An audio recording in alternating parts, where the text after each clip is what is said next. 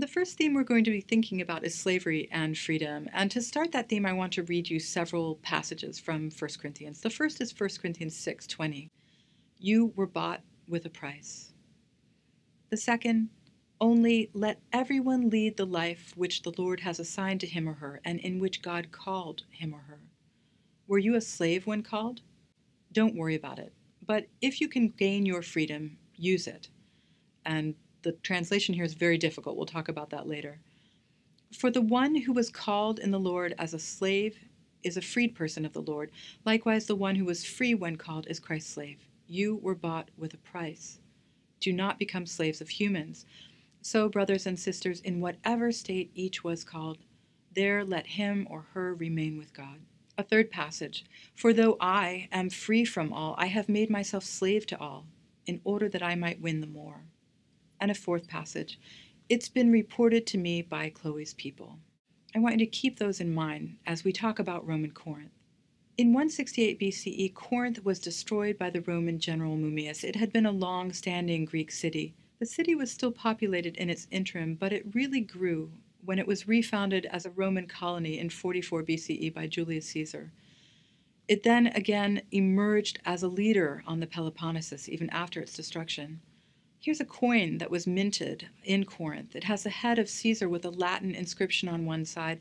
The inscription refers to the full name of Roman Corinth, Colonia Laus Julia Corinthiensis.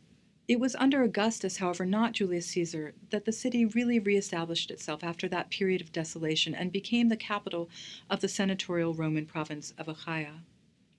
Corinth lay on a significant trade route in antiquity on the isthmus connecting ancient Attica to the Peloponnesus.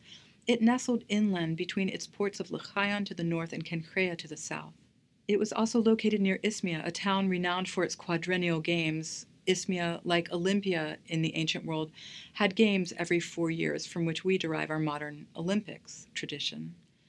To transfer cargo from the Saronic Gulf to the southeast to the Gulf of Corinth to the northwest, ships probably had to negotiate with the city of Corinth unless they wanted to circumnavigate the Peloponnesus. Corinth controlled a seven meter paved roadway called the Diolkos that allowed oxen to drag ships or cargo across the narrow spit of land because it lay between two ports, and because 1 Corinthians mentions prostitution and women who were prophets, some have argued that the city was a metropolitan hotbed of urban sins.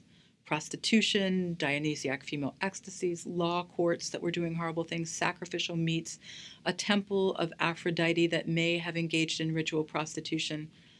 All these rumors have swirled around ancient Corinth. But archaeological evidence doesn't indicate that Corinth was anything unusual that there was any greater freedom for women or any greater cultural context of prostitution there. Often scholars tend to misuse archaeology. They try to find out what is morally wrong or questionable about the local context. They assume that the apostles came to correct or to bleach out this cultural context rather than to work within it. Corinth as a city was important to Rome. Its form reflected its connections to the Roman imperial family. The official inscriptions in Corinth were mainly in Latin, whereas unofficial ones were in Greek, the broader language of the city and the region. Here's one example of that Roman imperial presence in the city. This statue is an image of Augustus sacrificing. Octavian or Augustus, do you remember, reigned from 29 BCE to 14 CE. It was found in the southern part of the west aisle of a cryptoporticus, an underground hallway, in a basilica on the east end of the forum. It's marble, about one half larger than life, and it may have been a centerpiece of a series of imperial statues located in the main hall of this Julian basilica. The toga you see is pulled over Augustus's head like a veil. This indicates that the emperor is offering a sacrifice. His right hand probably held a patera or a shallow dish too for this purpose. This motif of veiling is often associated with Augustus's role as Pontifex Maximus, a function he assumed in 12 BCE. The statue may date from that year to the year 14 CE when he died. It's interesting to look at this statue because it reminds us of two things. First of all, that there was Roman power manifest in the Corinthian Forum. But second, you might think about a passage in 1 Corinthians 11 in which Paul writes that women should be veiled when they pray or prophesy while men should not be. Why is that the case? No one really knows for sure, but it's interesting in the context of Roman Corinth to remember that the veiling of a man's head indicated his piety before the gods, his correct ritual practice. Roman Corinth was repopulated not by military veterans, but by ex slaves. Coins from the first century CE indicate that a mix of freedmen and traders became leaders in the city. Freedmen or freed persons are former slaves and they usually weren't eligible to hold civic office. But Caesar made exceptions for colonies that he founded. These ex slaves might have been very rich, and some of them were, but they were still tied by a patronage system to their former masters in Rome. And they could conduct business on their master's behalf, business from which elites were legally barred, in Corinth at this important port between West and East. Corinth was thus a place of potential social mobility or upward mobility, and those of low status could attain wealth and position in colonial Corinth. We find wealthy freedmen in the city. In the center of the city, in the forum, we find benefactions or gifts from free persons.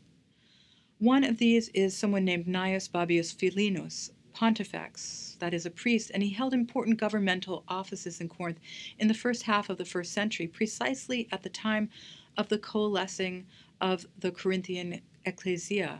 He was a benefactor of the Fountain of Poseidon in the Forum. We also find freedmen at a Tiberian period monument of the Augustales. If you look at the inscription, you see that at least two freedmen participated in this group that honored the emperors. Their inscriptions after the names includes L, an abbreviation for libertus or freedman. In addition, some of the other names suggest that more of the people might also have been freedmen. By participating in the Augustales, freed persons and their children could advance socially and display their wealth in the community. From this evidence, we learn that during the century when Paul was visiting the city, Roman Corinth was run in part by freed persons, and that prominent freed persons continued to be visible in the public square through their benefactions and through monuments that honored them freedom, and a history of slavery are on the Corinthians' minds.